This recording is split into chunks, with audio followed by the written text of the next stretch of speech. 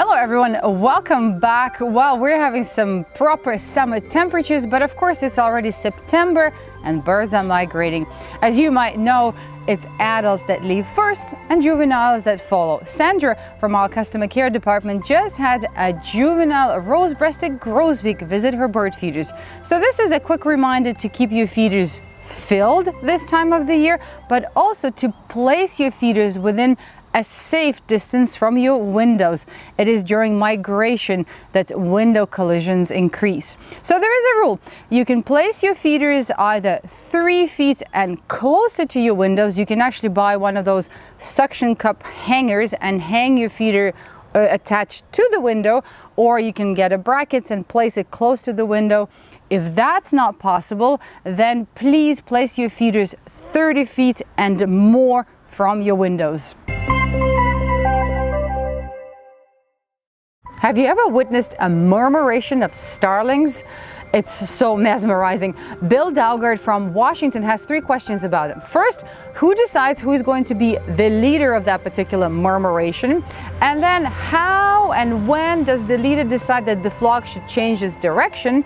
And finally, are any of the starlings welcome to join the flock or are some of them excluded? Hi, Bill. Great questions. I have seen these huge wheeling masses of starlings ranging from 500 to 100,000 birds on a number of occasions myself, and they are beyond a doubt one of the most spectacular ornithological events one can witness. Among other names, they're generally referred to as murmurations. Apparently, the starlings are moving at speeds of excess of 90 miles an hour, which begs the question what keeps them from colliding? And your specific question which bird decides the given direction of the flock? Years ago, I met a wildlife photographer who specialized in taking photos of these eye catching ornithological spectacles. And upon examining the photos quite closely, one could invariably see a raptor, like a falcon or a hawk, constantly worrying the flock, trying to pick off one of the outside birds. That's what drives the starlings to bunch together and then spread apart. No bird wants to be on the outside. The current thought to date on how the starlings maneuver through the air en masse is as follows. It's a nearest neighbor phenomenon. Each starling only communicates with about a half a dozen or so birds closest to itself. They basically follow their cues and copy their movements in a process known as scale-free correlation. So when one bird moves, its nearest neighbors respond in like fashion, and this propagates a wave-like movement pulsing through the entire flock.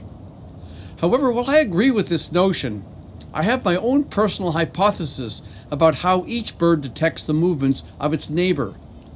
It's widely known among ornithologists that all birds, including starlings, have many sensory receptors embedded in their skins, which can detect air pressure.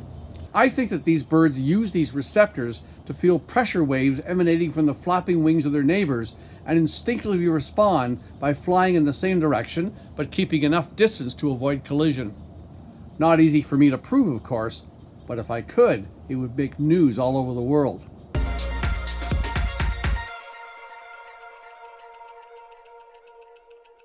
As much as I love gardening and taking care of my flowers, this is the time of the year when I just leave them be and I don't do anything to them until springtime. I know it can be very tempting to cut everything down and clean up your flower beds, especially after you have a night of frost. But believe me, your birds and your bugs will be very grateful if you don't cut down any of your flowers. I would have to say that the flocking together of 500 to 100,000 Eurasian starlings in those huge masses has to rank among the top 10 avian spectacles in the world. Watching them close ranks and then spread out in undulating fashion in the sky is absolutely breathtaking. While these events are usually called murmurations, other names come to mind, like a congregation or a vulgarity of starlings. But why a murmuration? Well, some consider a murmur to be akin to a low, subtle rumble, and apparently if you get close enough to one of these flocks, the sound of the beating wings mimics that. The birds generally begin this behavior as early as September and continue throughout fall and winter months. The most common time of day to see a murmuration is in the evening as the starlings gather together to enter their roosts for the night. They can last anywhere from 5 to 45 minutes. The best strategy to see one is to go to a known large starling roost at about an hour before sunset and wait until the sun goes down. Some of the best places to see them in North America are Central Park and Sunset Lake in New York City, Saguaro National Park, Arizona, Merritt Island National Wildlife Refuge and Indian River Lagoon in Florida, and Baie Verte Peninsula in Newfoundland. If you're in the UK, you can't beat the pier in downtown Brighton. Believe me, when you witness one of these flights, you will never forget it. We just spent a week in the Bay of Fundy in a lighthouse keeper's cottage. So we were surrounded by a lot of marine life. So I'm really into ducks, herons and eagles. So today it's C for common mergansers, a sea duck that lives both in North America and in Eurasia. Birds in general are called barometers of nature's health, and scientists watch and study common mergansers to be able to tell how healthy the aquatic environment and its inhabitants are. So, if there are common mergansers around, things are good. I find it super easy to ID common mergansers. They're long, red or bright orange bills with the hook at the end and their head crests are very distinctive. Males have iridescent green heads.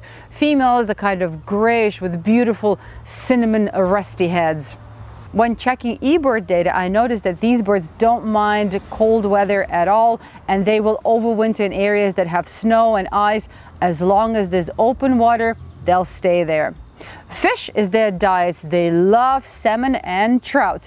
They dive to get fish and often will even swallow a fish while still submerged.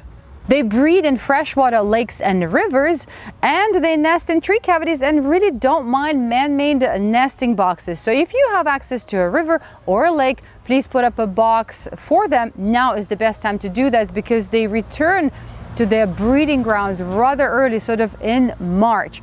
And if your box is a success, you will have baby chicks year after year.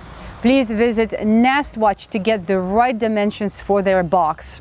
Common mergansers have only one brood per season, but their clutches are quite large, 8 to 12 eggs. You've probably seen those cute pictures of mama mergansers carrying a chick or two on her back and the rest of them trailing behind. So adorable.